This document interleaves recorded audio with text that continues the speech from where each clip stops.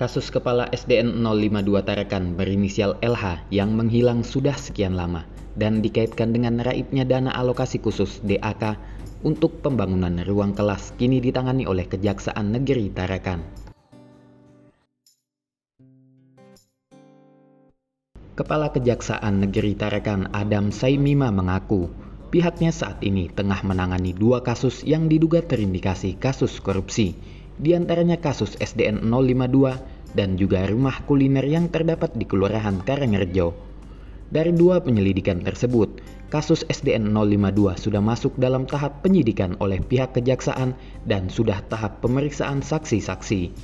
Ia melanjutkan, untuk kasus rumah kuliner yang terdapat di Kelurahan Karangrejo memang belum masuk tahap penyidikan, namun ia memastikan jika pembangunan itu berpotensi adanya tindak korupsi.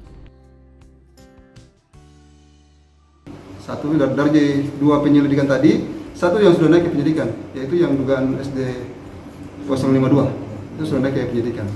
Sehingga tunggakan kami untuk penyelidikan dua tinggal satu, tinggal rumah kuliner Kotaku. Karena SD 052 itu sudah naik ke penyidikan, sementara pemeriksaan saksi. Gitu. Tui Muhammad melaporkan.